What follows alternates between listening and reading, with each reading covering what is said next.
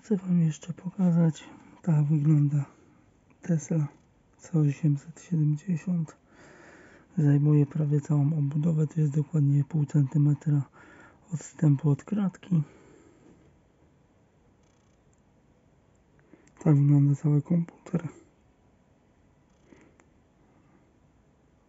Patrzcie sobie. I on był właśnie budowany po to,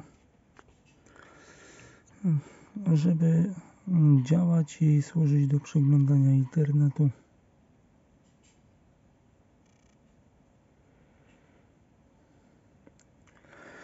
Na ten akcelerator graficzny to ten zasilacz w zupełności wystarczy. Tesla C870 nie jest prądożerną bardzo konstrukcją, ale jest bardzo zajebiście wydajna.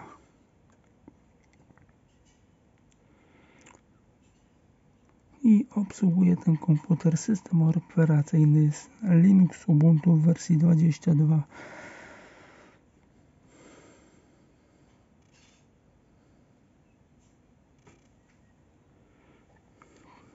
Zobaczcie, same termopady na akceleratorze graficznym są w świetnym stanie, nawet nie muszę ich wymieniać.